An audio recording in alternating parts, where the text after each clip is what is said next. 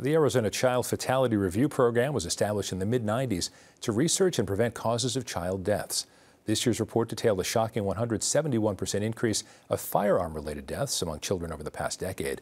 Joining us now to discuss the findings of this report is Executive Director of the Arizona Public Health Association, Will Humble.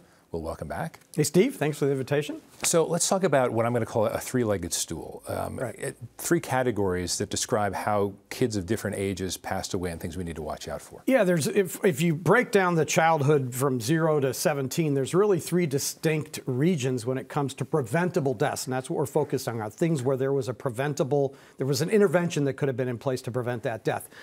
Uh, the first is the infant and very young kid stage. And that that the leading causes of death um, in Arizona in, in, in, the report are really suffocation and drowning. So the suffocation is really with the infants, and that's the, the intervention there is to make sure kids go into their own crib on their own with no pillows in the crib, and you lay the baby down on their back to sleep resist the temptation to bring them into bed with you. If you're breastfeeding, sometimes that's, oh, well, I'm going to bring the baby in with me. That's a super unsafe decision.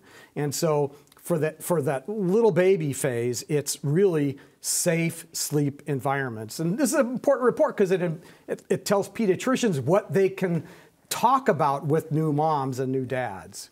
And number two? And and this and, and then it's drowning. And everyone knows watch your kids around water. It's a refrain. I don't think there's a single viewer that doesn't know how important it is to watch kids around water never break that chain of supervision and then get kids water safe as soon as you possibly can. So that's the infant category infant and young child category. And then that gets us to the headline i read about the the big growth in in gun related deaths but also suicide Right, but that's the older group. Older so, so okay. you want to do the middle group first? Sure, let's okay. do the middle group first. So, yeah. the, so the, for the grade school kids, it's really motor vehicle accidents, and so that is from being not maybe kids being in the front seat, maybe not being in a car seat like they're supposed to, not being in the right kind of car seat, maybe the car seat's not installed properly, okay. or and also the, some of the deaths were from.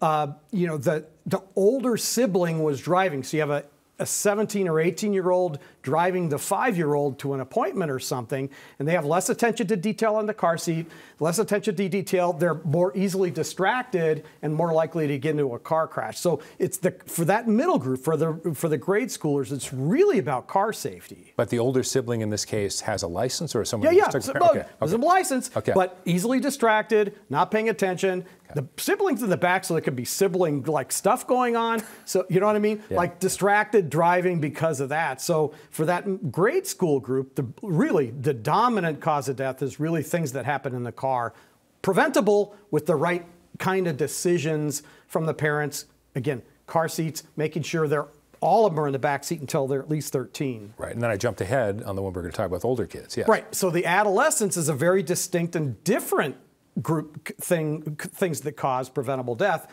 Um, the first category is firearms, and you talked about at the top how we've had a 170% increase in the last 10 years in, in gun-related deaths, and that's a combination of both homicides and suicide. But it, the common thread through both of those mm. is when parents have a pistol in their house that's not secured, that the teenager knows where it's at, and they can make impulsive decisions that end up leading to a homicide or suicide, decisions they can't take back. And adolescents' minds, their brains are not fully formed. They're, they're more impulsive than they will be as adults. And so the key takeaway here is secure your if you have a weapon in the house secure it make sure it's not loaded make sure that nobody has access to it, um, it, it you know and it, and there's a policy piece to this too, yeah. because many other states have what's called a child access prevention law, which says, look, if you have a firearm in the house, we're not going to we're not talking about taking a firearm away, saying if there's a firearm in the house, somebody gets a hold of it, something bad happens, you are both criminally and civilly liable for what happens with that firearm, even if you didn't pull the trigger,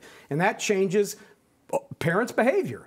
To, to secure, now they have a different motive to lock up their firearm, and so that there's that piece. And then the final thing is fentanyl.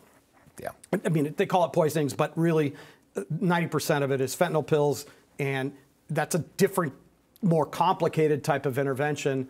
Um, policy wise, we've done a good job in Arizona because the naloxone reversal drug is available at drugstores without a prescription now. It costs 70 bucks, so it's not free. But you know, we've done some things, and then the opioid opioid settlement money. There's some things underway with that too. Well, let me go back to guns briefly, though, Will, because that again is, is the headline that grabs things. If policies needed to change there, uh, is it even worth the effort at times, considering what state legislature we have, considering Yeah. how people feel about the Second Amendment? Well, in Arizona, I don't. I just I mean, there will be bills this legislative session that will have a child access prevention law in it. Okay. It will not get a hearing. It will not. You won't even read about it because it won't. Maybe not get it assigned to a committee even. You know. So I think eventually, some I will see the day we have a child access prevention law. I think um, I'm in my mid 60s. I don't know how long that's going to take, uh, but states increasingly recognize. And, and by the way, this is not a Second Amendment thing. This is a thing that says, look, you have a firearm in your house, that's a deadly weapon, secure it properly, treat it with the respect that it's due. And if you don't, these are the consequences. It's about personal responsibility, which, by the way, is pretty bipartisan. Let's talk about defining preventable versus non-preventable. I mean, it should speak for itself, but Right. when we put under preventable, are there any things in preventable that give you pause in any way? Well, one thing we haven't talked about that's preventable is see prematurity is a big cause of death.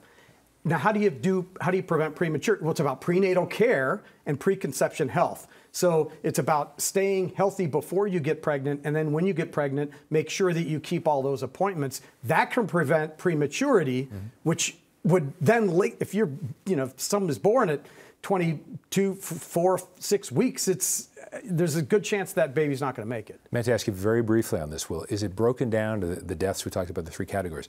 Broken down by income level, ancestry, heritage, ethnicity, anything like that? Yeah, so the in the inside the report, and it's on my blog, and it's on you can Google Child Fatality Review 31st Annual Report. There's all kinds of demographic factors in there, but we can't cover that in six No? minutes. Absolutely. Will Humble, thanks as always. Good to see you. All right, take care.